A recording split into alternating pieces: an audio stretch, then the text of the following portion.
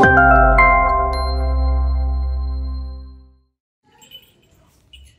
numele Tatălui și a Fiului și a Sfântului Duh. Amin. Preacuvioși și preacucernici părinți, iubiți frați și surori într Domnul, Hristos s-a înălțat.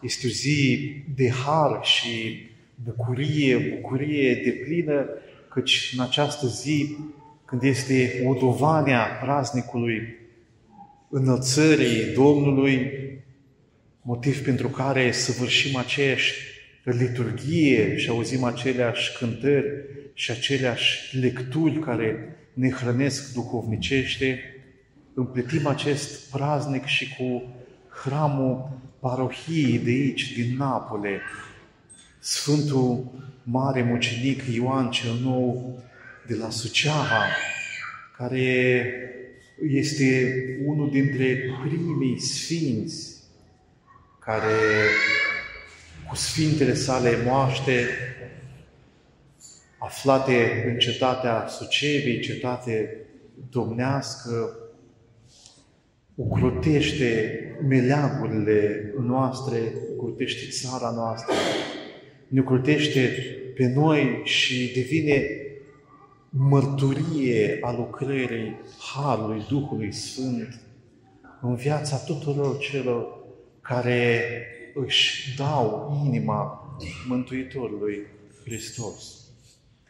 Spuneam că este o dovane, adică sfârșitul, încheierea praznicului înălțării Domnului, acest praznic minunat care împacă cumva cerul și pământul, duce la o concluzie firească tot ceea ce am trăit, toată această poveste adâncă de dragoste între om și Dumnezeu, poveste care dacă o citim și o punem la inima noastră, vedem că e condusă și din momente de cădere, e condusă și din momente de despărțire, omul se desparte de Dumnezeu și totuși Dumnezeu este Cel care face pasul acesta de a se împăca cu omul pe care l-a făcut, nu din altă pricină decât din dragoste.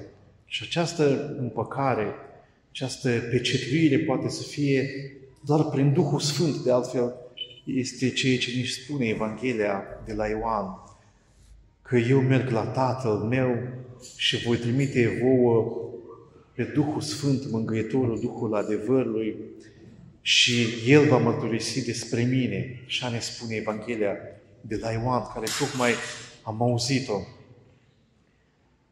El va mărturisi despre mine și El este Cel care descoperă lucrarea lui Dumnezeu în lumea aceasta. Ucenicii fără Duhul cel Sfânt sunt loviți de aceeași neputință și până aceeași întrebare Doamne, oare în aceste zile vei aduce Tu de nou, vei restabili, vei repune de nou împărăția lui Israel, adică cea lumească. Asta ne relatează faptele apostolilor.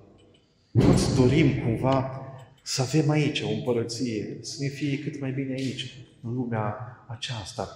Să putem să avem toate lucrurile, să avem bucuria de plină nu în altă parte decât aici, alături de cei dragi și toți cei cu care nu ne împăcăm, toți vrăjmașii noștri, să dispară într-o clipită și noi să fim fericiți până la sfârșit. Ori în realitate nu asta ne dăruiește Domnul. Domnul nu face altceva decât să ne pregătească pentru o altă viață, pentru o altă împărăție, care este împărăția dragostei, și noi, uh, poi mâine, când vom prăznui rusalele, când vom prăznui cinzecina, această duminică mare a pogorârii Duhului Sfânt, vom spune că iată atunci se naște biserica. De cauza că biserica în chip văzut se naște atunci când Duhul Sfânt leagă din nou inima omului de Dumnezeu. Dar dacă gândim un pic mai adânc, dacă gândim mai profund, ne dăm seama că biserica este locul întâlnirii omului cu Dumnezeu. Asta este biserica. Și aici, la biserică, ne întâlnim cu Dumnezeu. Dar primul loc în care omul s-a întâlnit cu Dumnezeu a fost raiul. Adam l-a cunoscut pe Dumnezeu în rai. Înseamnă că biserica se naște în rai și în același rai, aceeași împărăție a lui Dumnezeu, vrea Mântuitorul Hristos să ne ducă pe noi, pe toți. Noi facem primii pași aici, în biserica pe care o simțim, biserica care ne-am botezat, biserica în care ne-am împărtășit, biserica în care ne unim cu Dumnezeu și totuși Mântuitorul Hristos face un lucru minunat. Face un lucru minunat pe care îl descoperă Sfântul Atanasie cel Mare, care spune că de la înălțare, în sânul Sfintei trăim, este și un om și firea omenească. Prin Mântuitorul Iisus Hristos, de la înălțare, de-a dreapta Tatălui, mai stă și un om. E cauza că, prin întrupare, Dumnezeu ia și firea omenească, care îmbrățișează cu cea dumnezeiască. Îl unește pe om cu Dumnezeu în persoana Mântuitorului Hristos, în chip atât de strâns, cât această dragoste să nu mai poate despărți nimeni niciodată. De asta Dumnezeu iubește atât de mult pe om și asta e sensul bisericii. Asta e sensul cunoașterii Dumnezeu. Că biserica, vă spuneam eu, este locul unde dragostea nemăsurată a lui Dumnezeu se întâlnește cu omul pe care îl plăzmuiește.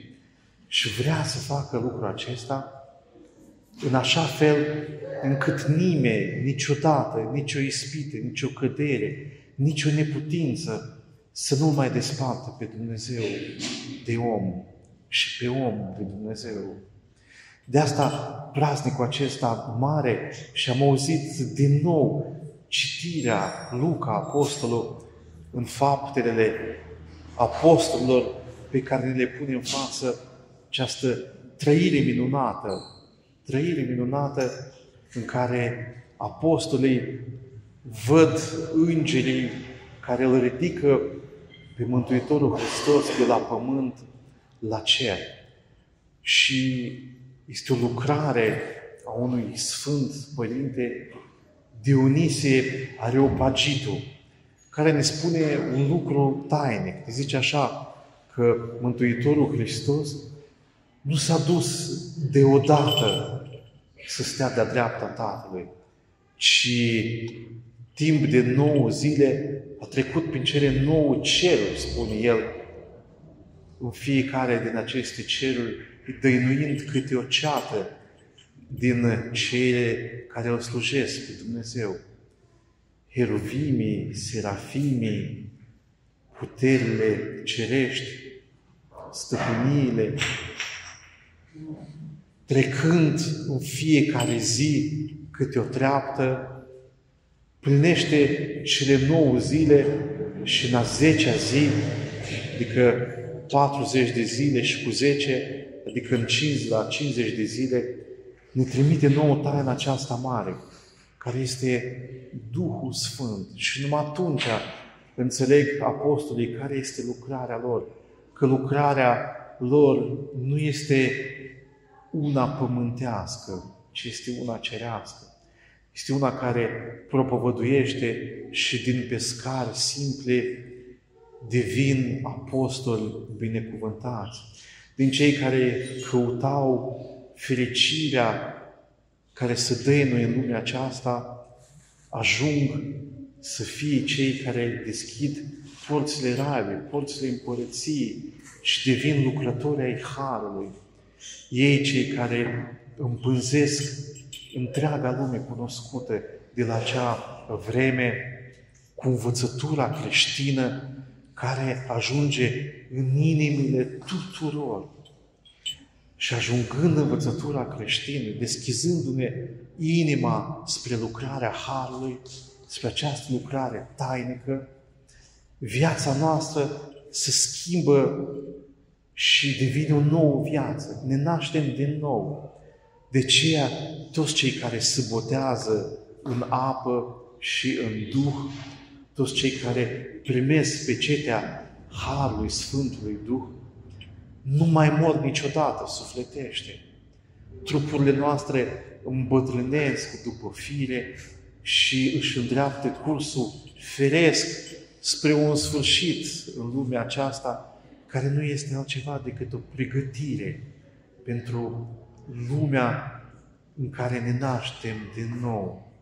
Aerea pruncului care petrece nouă luni în pântecele mamei sale, așa și noi petrecem câțiva zeci de ani, unii mai mulți zeci de ani, alții mai puțin zeci de ani, unii poate reușesc să facă și o sută de ani, dar după aceea trecem dincolo și ne naștem, ne naștem din nou ca să fim fii împărăției. Dar taina acestui praznic ne spune un lucru adânc, că putem să ne naștem deja de aici, ceea ce fac până la urmă în chip tainic monahii și monahiile, călugării, călugărițele, spun că mor aici, pe lumea aceasta, și îmbracă haina neagră a pocăinței ca să dăinuiască doar cu Dumnezeu, să nu-și împarte viața în două sau în mai multe părți, împletind cumva trăirea și bucuriile vieții cu Harul lui Dumnezeu care dă un gust atât de adânc și atât de, de viu în inimile noastre, încât nu mai reușim să, să gustăm altceva. Cel care a gustat Harul nu mai poate să guste altceva. Tot ceea ce gustă nu mai are rost. Nu mai odihnește inima, nu mai odihnește sufletul, nu mai dă pace viețuirii noastre aici, pe pământ. De asta, de multe ori, Harul lucrează atât de puternic în viața celor care cu sinceritate lasă toate, încât fac minuni cel care se leapă dintr toate de lucrurile lumești ca să le îmbrățișeze pe cele cerești, deja de lumea aceasta este un făcător de minuni și minuni se întâmplă în jurul lui și pace dobândesc oamenii în jurul celor care se unesc în această nuntă cerească îndrăznesc să o numesc eu. Că e o nuntire tainică. Dumnezeu, Dumnezeu vrea să fie Uh, milele fiecărui suflet pe lumea aceasta, să nuntească în chip tainic cu fiecare suflet pe lumea aceasta. Căci nunta cea pământească, chiar dacă aduce oarece dulceață, uh, o împletește și cu amarul durerilor și cu amarul încercărilor, căci asta este crucea pe care trebuie să o ducem ca să putem să dobândim mântuire.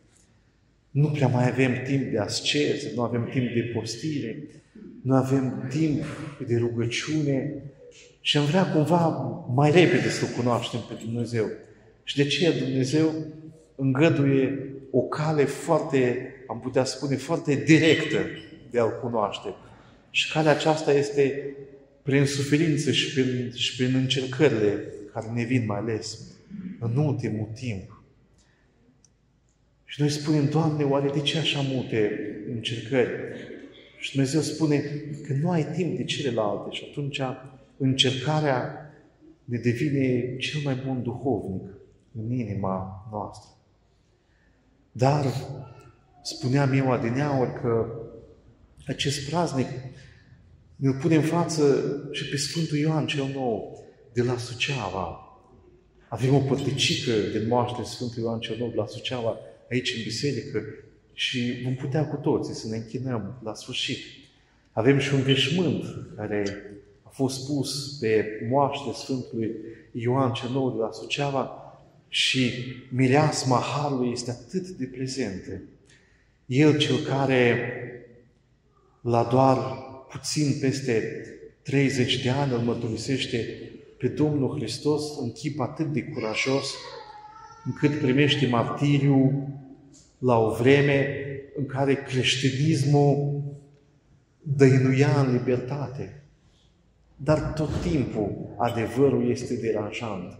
mărturisirea adevărului, mărturisirea curajoasă a ceea ce este adevăr și adevărul Domnul Hristos, aduce oarece tulburare în jur.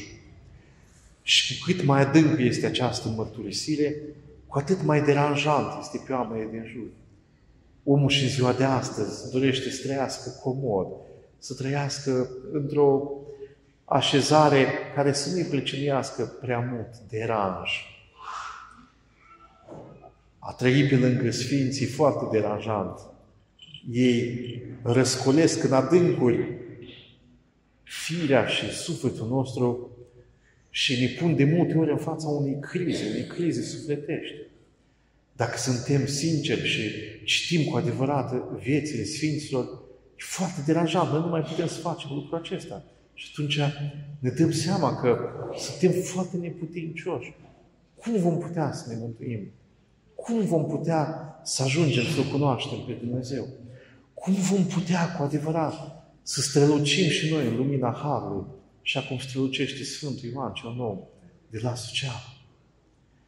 Dumnezeu văzând pe de o parte râvna noastră și pe de altă parte eșecul și neputințele noastre, îngăduie suferința ca una care să împletească, să, să, să facă această frânghie care totuși să nu ne desparte nici de har, nici de Domnul, nici de Sfinți, nici din Părăția pe care o dorim atât de mult.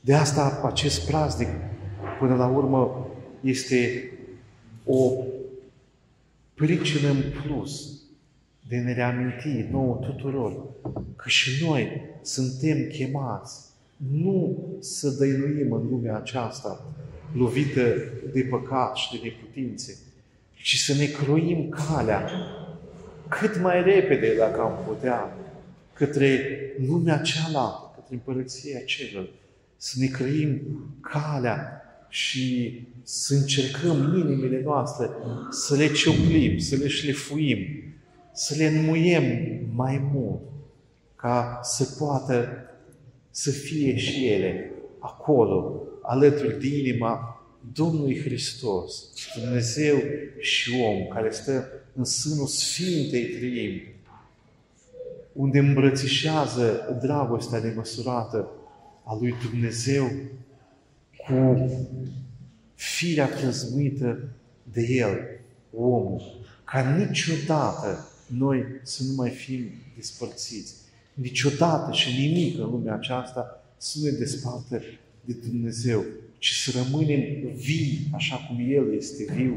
Și ne spune Evanghelia de la Ioan acest lucru. Domnul este viață și ne dă nouă viață, ca noi să gustăm din viața aceasta și Lui slavă să înălțăm în vecii vecilor. Amin. thank you